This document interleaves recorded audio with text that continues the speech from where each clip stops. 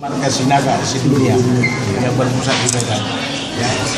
Jadi kebetulan saya sebagai ketua umum, saya membawa beberapa pengurus, ada wakil ketua, ada juga pengurus yayasan, sekretarisnya, sekretaris jenderalnya, dan juga ketua-ketua yang lain dan juga ketua wilayah Samarinda.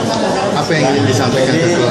yang ingin kita sampaikan satu bahwa kita ini adalah memberikan suatu dukungan ya kepada keluarga ya orang tua daripada Alvaro ini bahwa kita memberikan support bahwa kejadiannya adalah merupakan semua.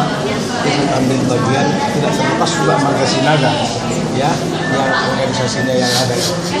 Ya Sinaga yang ada di dunia ini ikut juga prihatin atas kejadian tersebut. Dan itulah yang kami tunjukkan sekarang ini ya. Bahwa kami satu penderitaan satu perasaan dalam hal suka dan duka. Karena ini adalah suatu kejadian dan duka. Ini yang kami tunjukkan melalui organisasi kami maka kami coba ini.